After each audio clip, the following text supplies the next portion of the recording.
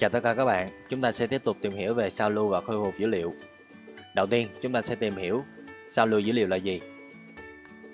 Sao lưu dữ liệu là quá trình tạo ra một bản sao của dữ liệu, sau đó cất giữ ở một nơi an toàn.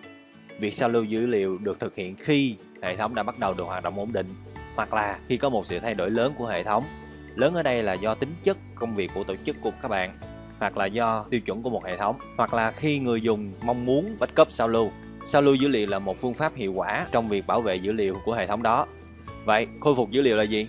Khôi phục dữ liệu là một quá trình được thực hiện khi hệ thống gặp sự cố, chẳng hạn như là bị tấn công virus đã xác định được mức độ lây lan, bị lỗi phần mềm mà đánh giá cái việc khắc phục hệ thống khắc phục phần mềm này tốn quá nhiều thời gian hoặc là muốn trở lại các phiên bản trước đó đã được sao lưu. Có rất nhiều phần mềm để hỗ trợ việc sao lưu và phục hồi dữ liệu như là Norton Acronis TrueImage hoặc là OneKeyGot Ngoài ra thì chính Windows cũng có một cái tính năng đó là System Restore cũng cho phép chúng ta có thể khôi phục lại dữ liệu. Sau đây chúng ta sẽ cùng nhau xem uh, cấu trúc ổ đĩa của một hệ thống đang hoạt động bình thường.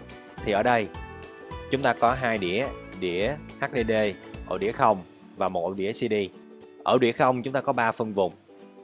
Phân vùng đầu tiên phân vùng hệ thống, phân vùng thứ hai là phân vùng chứa hệ điều hành, ổ đĩa C, OS. Phân vùng thứ ba là phân vùng ổ đĩa E, ổ đĩa data. và chúng ta sẽ backup dữ liệu là hệ điều hành ở ODC backup lên ODE và sau đó chúng ta sẽ tiếp tục thao tác là ngược lại là chúng ta sẽ restore dữ liệu đã được backup trên ODE lên lại ODC. Nào, hãy xem tiếp cái video của nhóm mình hướng dẫn về việc đó nhé bằng cách sử dụng OneKeyGot.